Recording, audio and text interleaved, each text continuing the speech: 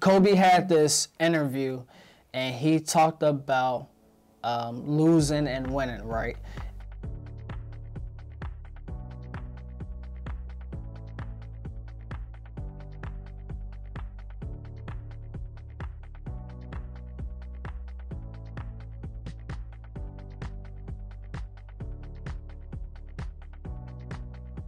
Hey everyone, and welcome back to the 1% Better Everyday podcast. My name is Jasmin. And my name is Matthew Cohn for Cones Graphic. We are the 1% Better Everyday podcast where there's a space where entrepreneurs can learn, connect, and win together. So, there is a podcast that will help you grow your business to the next level. This is for anybody that wants to be an entrepreneur, entrepreneurs are already in business, or entrepreneurs have been in business and have been in business for years and just need a space where we can vent, we can talk, and we can have conversations about things that we go through as entrepreneurs every day. So you guys can find us on Spotify, YouTube, and we are on, I want to say Anchor.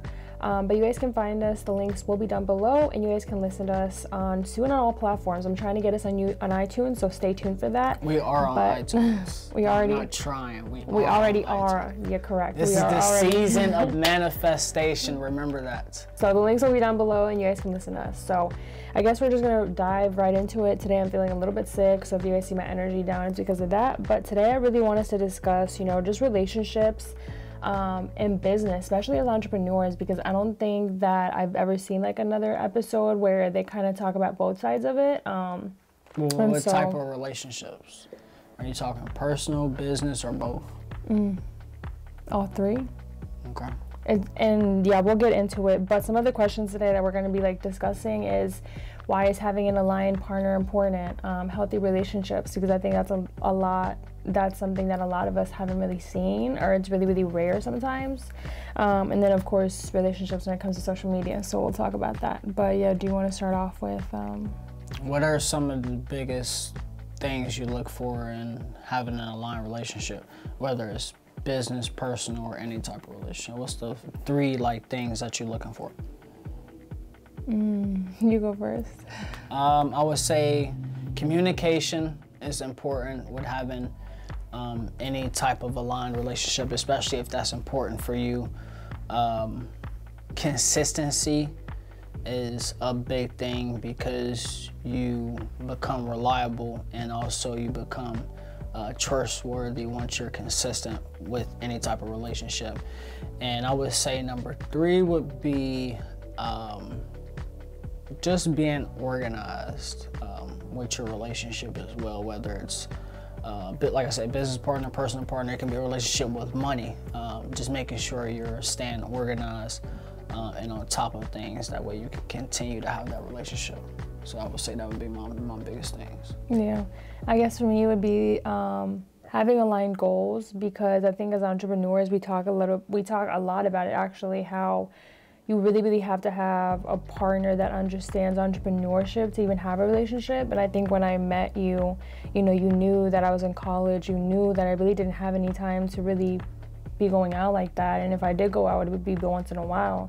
Um, so I was already like on that path to college, and everybody knew how hard I was working to graduate. So then just finding someone that kind of shared the same mindset or goals to, you know, just dream bigger and do bigger things that we have never learned in our life, especially as a, you know, someone coming from like a Hispanic background where I told him, which is crazy the other day, because I'm, I'm just finding out stuff about my grandma now, but my grandma doesn't even know how to read or write in Spanish or English at all.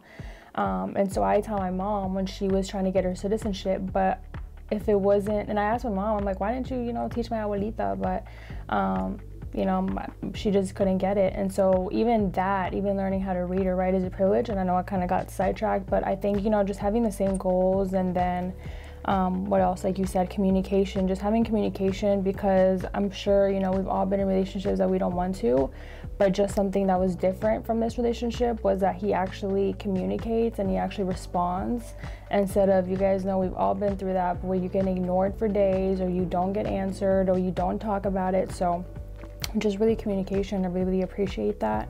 Um, and patience because, you know, we're not perfect. I am not perfect, but he really does have patience with me and learning, you know, maybe she's not perfect at that, but she'll get it sometimes because and that's another topic you know just having that balance because there's certain things that i'm not good at and he's really good at and there's things that you're really good at and i need help with but yeah it's it's uh just looking from the outside in people always ask us about our relationship and what they like about it and what like it but what they don't realize is our relationship works because we put in the work. we put in a, we put in the work and we actually um, understand each other and have common interests and common goals.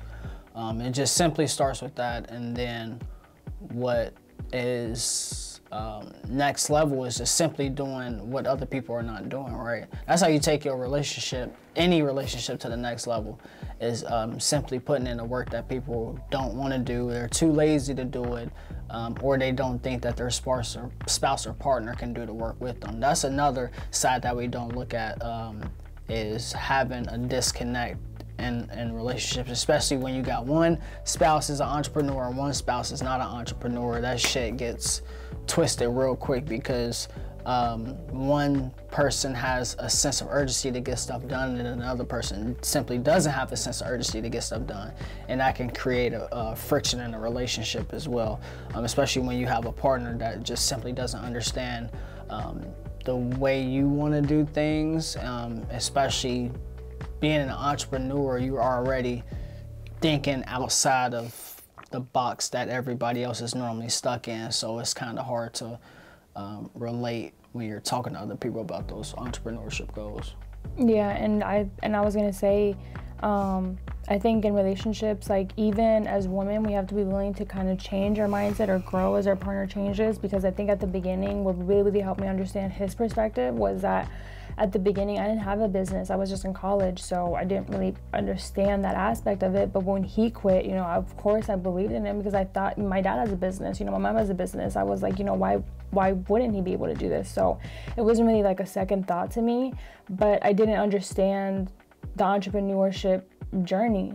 It's a lot, and I don't think until you get into that space you will ever understand it, even if somebody tells you about it all day um, because until you live it, it's a whole different experience. So I think that that's what really helped me like understand his experience. But also, I think as women, we have to be willing to accept change and grow just because I don't know if there's a young mindset or there's like an old mindset, but I just know that whenever you like sense your partner changing a little, you guys always think that we always think that there's something wrong, that there's something, you know, bad or that it's going to be a negative change when in all reality, it could be the opposite. It could actually be like a really, really good change, a really positive change, um, or your partner could just be ch- thinking about your guys' future. So, I think, like I like I said, just really understanding your your partner, um, and just having the same goals and values. I think that's the number one key.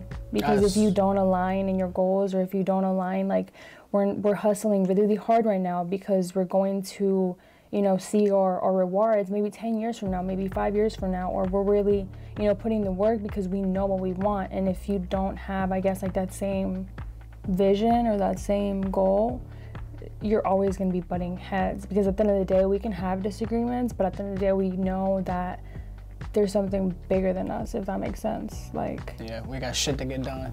Speaking of, um, that's a perfect segue into what to expect from your partner. Is there actually expect any relationship um, since we're speaking on relationships like what type of expectations or should you have any expectations when you're going into any type of relationship with a job or with a partner or, or something in business?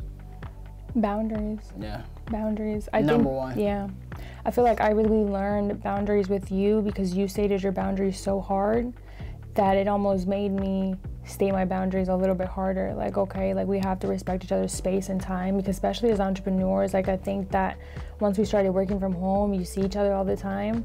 So i'm not trying to say that you get bored but you do have to have a little bit of space you know without each other. So that way to me um, you know you can kind of like miss each other if that makes sense you know because we're so busy all the time. But at the same time i feel like our relationship is so good that it's like we spend three hours away and then we're like, okay, back to, I don't know if that makes sense. But. No, it makes sense. It's, um, it's, it's also just knowing who you are as a person, right? um, especially if you expect them to have any type of boundaries um, within your relationship. And then um, just circling back to having expectations, especially in business as well. Um, when you have any type of client or you have a service or a product, uh, you just got to make sure you are um, setting expectations towards who you're working with or who you're giving something to. Uh, that way, there's no confusion uh, uh, again in a relationship. Making sure you have expectations in a relationship as well. That way, your partner um, knows exactly what to expect. Um, out of you or out of her or out of certain situations. So that way you're just not looking at each other like, huh? Like mm-hmm. confused as fuck, not knowing what's going on. So yeah. And I think it's like a, it's a learning process too because I mean, like I said, we're not perfect obviously, but um, back to kind of what you said earlier was that you know how do a lot of people think that we have such a perfect relationship but i always say that i don't think it's perfect i think it's just we put in the work like especially because you know us. again you know coming from a, a background where you've never seen a healthy relationship and you just seen people yell at each other like you really kind of have to step back and make sure not to do it again with your partner. Does that make sense? Because yeah. you will always repeat the the patterns that you grow up with. And that's if you want to. Some people, well, and some people don't care. Way. Some yeah. people don't give a, you know, who. but um, let's let's talk about um, who One Percent podcast is for. Um, to me, my idea of one percent better uh, every day is I think of when every time I read that title and every time I typed it in, I think of Kobe. Kobe had this interview and he talked about um, losing and winning, right? And in his concept, he talked about how one day you can wake up and you can win the game, right? You worked all this hard, you worked hard, win the game, boom. But guess what? The next day is gonna come up and you gotta do it again.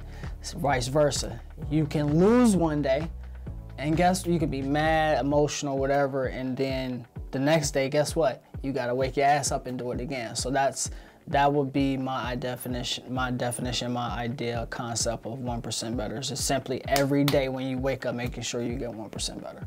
Yeah, and I think that that's a huge.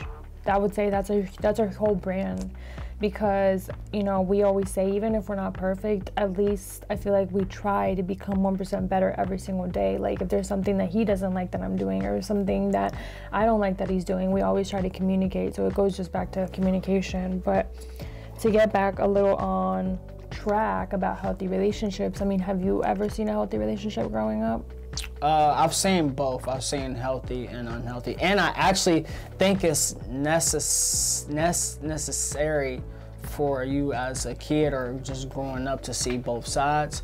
That way you get familiar with what you like and what you don't like. I think it's, it's just like yin and yang. It's going to be good and bad in this world.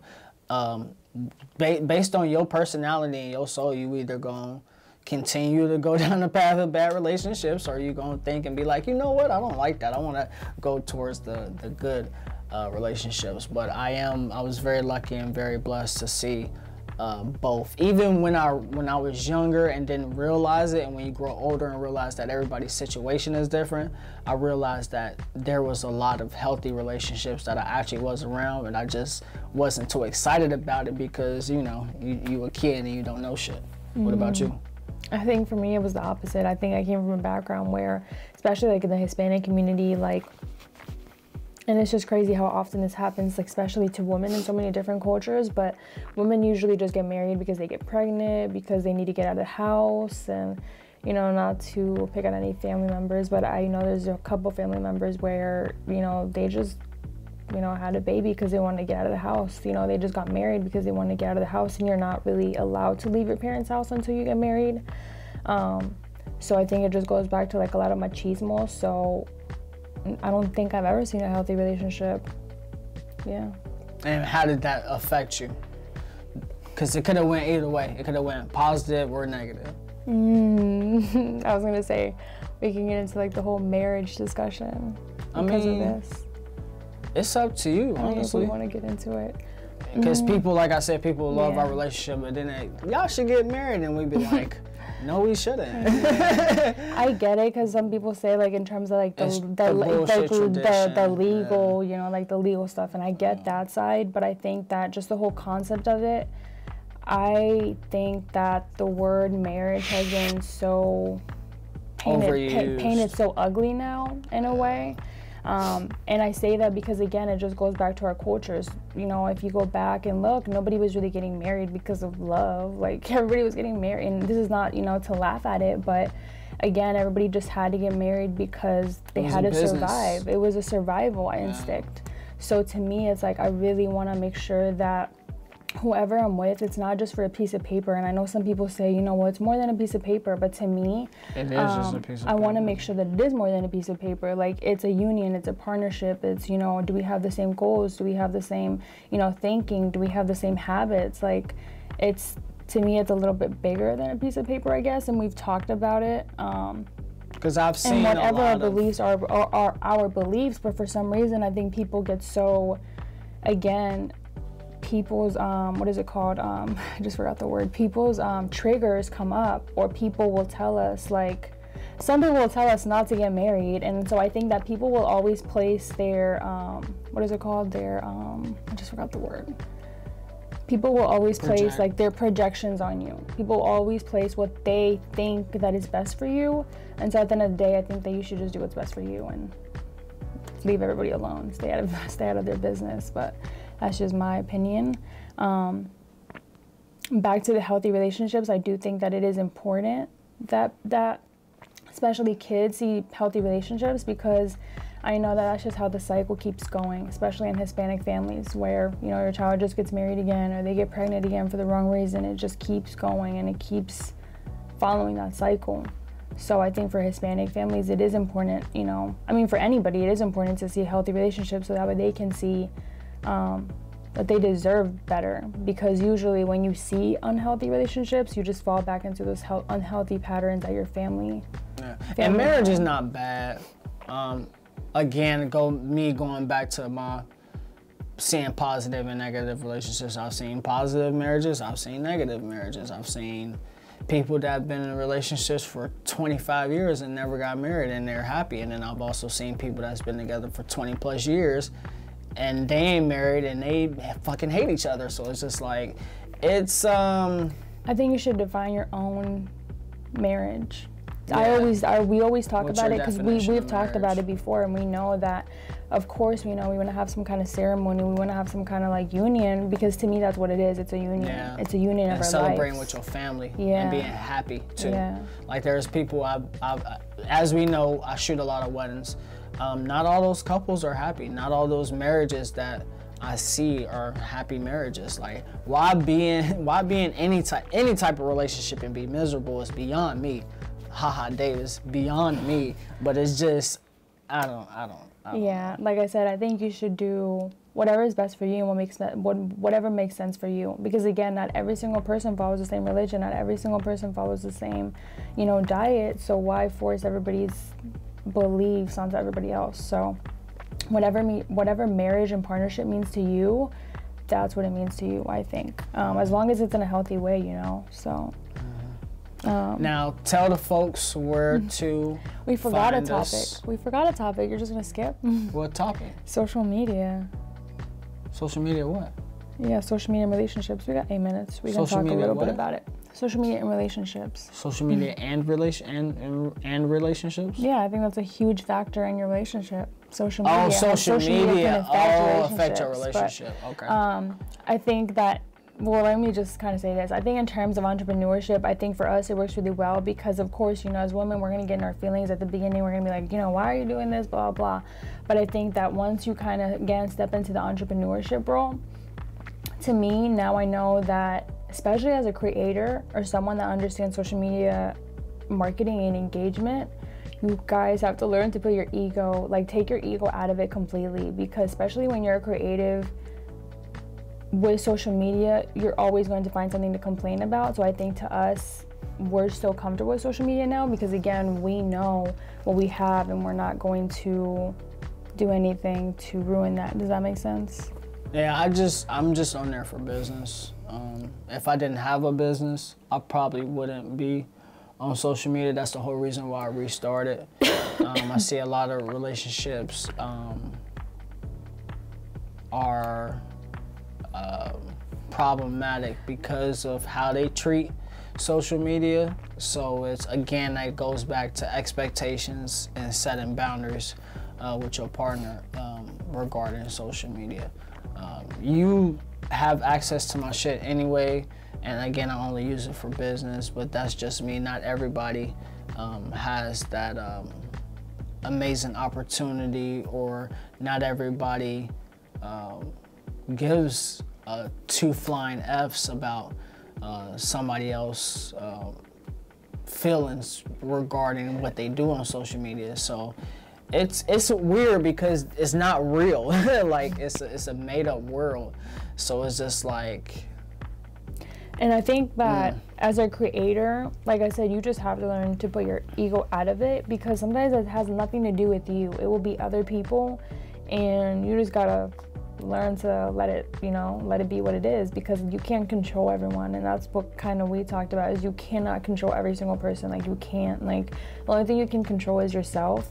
Um, and as long as you're moving with good intentions, then I don't think social media really matters. And especially as in terms of content, um, again, especially because as women, like again, I think that I really, really learned how to put my ego out of it, and now I just like understand the business side of it. But as women, that sometimes maybe you're emotional that your man is commenting on, you know, other businesses or stuff like that. You really, really have to learn to, or not even like I would say, not even commenting, but even in terms of the content, you guys have to learn to put your ego out of it because at the end of the day, it's content, and that's what we're there for. We're content creators, so. If you're not going to trigger your audience to do something, then again, why are you on social media? So, and, and not everybody treats it like that either, or not everybody has that awareness um, to treat it like that either. So again, just having that conversation with your partner about expectations with social media, because that shit can get wild and nasty. I prefer to stay out of it. And I wanted to put it in there just because, again, like, especially with content creators, and I see that through other, you know, through other podcasts or other um, YouTube videos, or sometimes I'm scrolling on TikTok and I see the comments um, of women, you know, just complaining about the content or stuff like that. And so that's why I say that is because in terms of content creators, I don't think you will ever understand it unless you're a content creator. Unless you're a content creator, I don't think you will ever understand what the purpose of the content is for. Um, and like I said, people just get in their feelings about it, but yeah. I think we covered a lot. Um, I wasn't feeling good, but I still showed up. So, like I said, we're being consistent this year and we're trying to post at least once a month for you guys because I think this is kind of like really um, we don't post therapeutical. There's a new clip dropping every week. Every week for One Percent Podcast. Don't let her lie to you. Available on YouTube. We got the shorts going. We got them on Twitter, we got them on Instagram, we got it on. We gonna put that. We gonna make a motherfucking TikTok for One Percent Podcast. Mm, but again, one percent better every day. That is our purpose. That is our goal. Each day you wake up, you get a blessing to be able to achieve your goals, and we got to get one percent closer to achieving those goals. That is the whole purpose.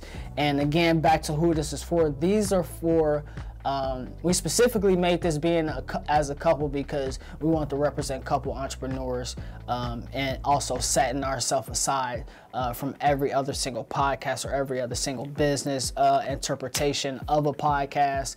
Um, that's that's what's going to separate us from everybody else and more importantly, sharing our story as uh, rela- uh, and being in a relationship and on our entrepreneur journey as well. Yeah, I was I was just gonna say that, and I think that a lot of people will learn because you get to have two different perspectives, not only from a woman but from a man, but also from like a Latina background, mm-hmm. and then also from a black man perspective, which is really really important. And you guys know I'm a huge advocate of mental health so that's why i really really love this space because now we can talk a little bit more of the stuff that i really really do want to talk about but maybe i just I say that I don't have time, but I just know right now is not the time to focus on my organization. So through this, I think that we can still touch some of those subjects. So again this is for you know just entrepreneurs couple entrepreneurs just anybody that you know maybe could relate to some of the stuff that we go through as entrepreneurs as content creators so Again, if you guys like this episode, don't forget to like, share, and subscribe. And my name is Jasmin. Matthew Cohen from Cones Graphix. And we are the 1% Better Everyday podcast. So if you guys don't do anything today, make sure that you guys do one thing that will make you 1% better every day tomorrow. but thank you guys so much. Don't forget to listen to us on Anchor, um, Spotify, and then YouTube. You guys can watch us. You guys can actually watch the visuals. But again, the links will be down below. And see you guys in the next video.